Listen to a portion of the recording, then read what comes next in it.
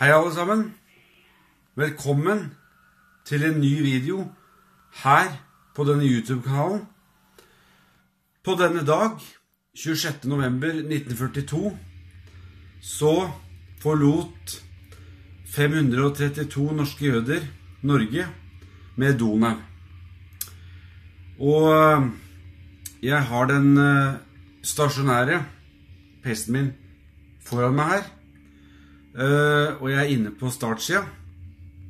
Og jeg skal nå lese det det står om det. 1942. Donau forlot Norge med 532 norske jøder. Troppetransportskipet Donau ble denne dagen brukt til å frakte 532 norske jøder til konsentrasjonsleirer i Tyskland. Kun ni vendte hjem. Ofrene ble pågrepet av norsk nazif nazifisert statspoliti. Doene ble senket 16.1.1945 da Max Manus og Roy Nilsen satte ti sprengladninger på skipet. Ja, det er jo ganske grusomt å tenke på, da. Selv om jeg ikke ikke ikke var født, så så Og kanskje da flere av dere som ser denne videoen,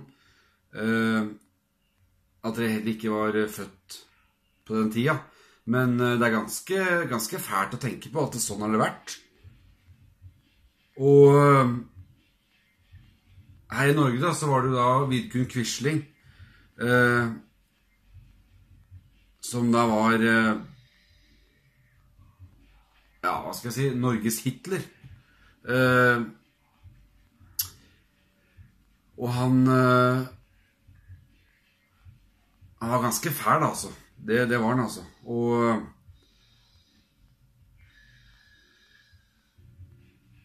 Jeg vil jo si at altså Når det kommer til andre verdenskrig, ikke sant og alt det grusomme som skjedde da, under andre verdenskrig, så hadde ikke noe av det skjedd hvis det ikke hadde vært for Hitler, ikke sant? Så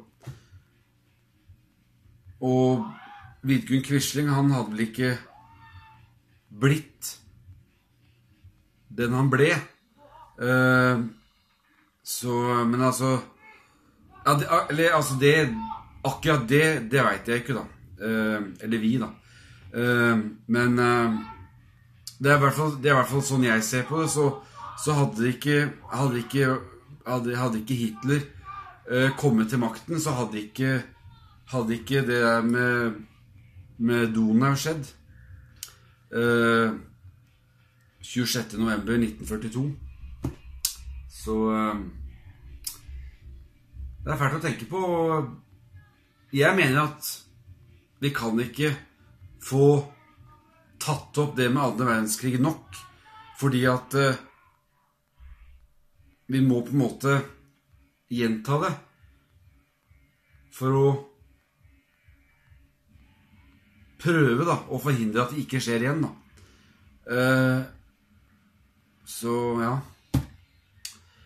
Takk til eh, dere som ser denne videoen. Ha en fin dag videre. Vi snakkes. Ha det.